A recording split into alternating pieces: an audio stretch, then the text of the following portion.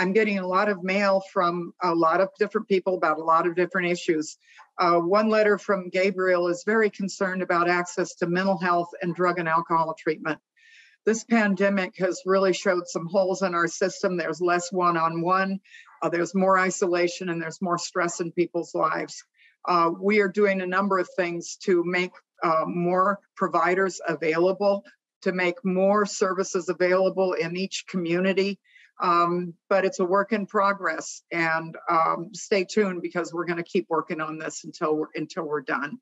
Um, another issue that I've been getting a lot of mail about is a concern about crime going up in people's neighborhoods.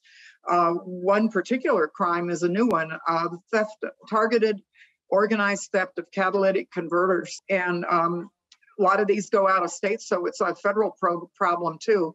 Uh, but I'm a co-sponsor of one of the bills that's going to both study it and tackle it um, up front. And um, so this is just one of the many things that we're doing to combat crime that people are concerned about and to keep people safe. This is going to be a fast moving short session, and uh, I'll provide regular updates. Thank you for watching.